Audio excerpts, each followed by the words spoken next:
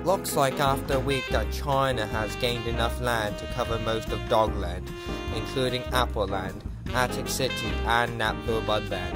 That's a major issue, and we need to get some support from free Doglanders to reclaim our homeland. This is an insult to all Doglanders, no matter their species. Send the tech in now before reinforcements arrive.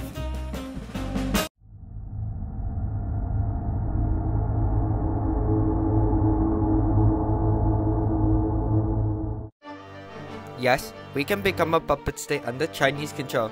Marv Nagel controlled this land as Prime Minister. He is now President. I, who is his twin, will now be Vice President.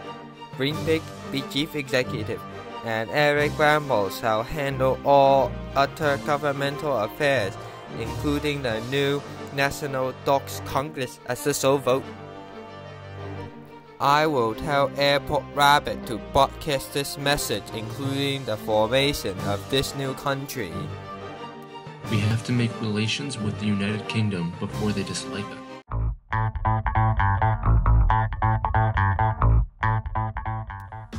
I'm the diplomat in the United Kingdom, Dogland, also known as the Republic of Dogland. Eh, why are you here? I, as the President of the People and Dogs Republic of Dogland, want you to recognize the People and Dogs Republic as the sole Dogland.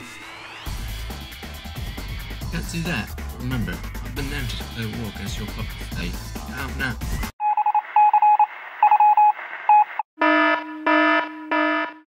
The new country is now formed, which is Dogland, and the official name is the Peoples and Dogs Republic of Dogland, which consists of Appleland, Attic City, and other territories.